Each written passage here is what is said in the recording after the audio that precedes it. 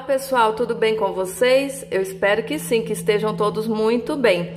Bom, conforme eu havia prometido no vídeo anterior a esse, que é a receita de curau feita com milho de latinha, eu vim hoje trazer para vocês uma receita top, deliciosa, um bolo pamonha super fácil de preparar no liquidificador, feita com o bagaço do milho que sobrou da receitinha de curau.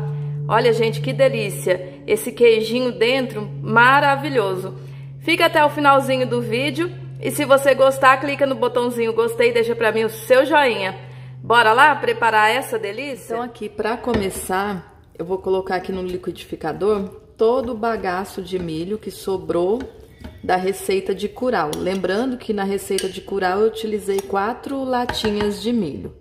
Vou acrescentar quatro ovos inteiros, gema e clara, quatro colheres de sopa de manteiga ou margarina, uma xícara de açúcar, tô utilizando xícara de 200 ml, uma xícara de fubá, esse aqui é aquele fubá mimoso, e uma xícara de leite. Agora eu vou bater até que fique tudo bem homogêneo. Vou acrescentar uma colher de sopa de fermento em pó para bolo e agora eu vou dar uma batidinha bem rápida, que é só para misturar o fermento, bem rapidinho forma untada com margarina e enfarinhada com fubá. Eu vou despejar metade da massa aqui nessa forma. E agora eu vou espalhar aqui, ó, fatias de mussarela. No total vou utilizar 150 gramas. Vou cobrir com o restante da massa. Vou levar para o forno pré-aquecido, 180 graus, por aproximadamente 40 minutos. Prontinho, ó pessoal, acabei de retirar o bolo do forno.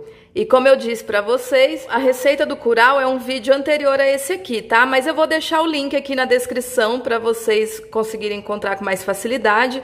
Vai ter uma tela aqui no final também, que é só você clicar, você já vai ser direcionado para o vídeo da receita do curau.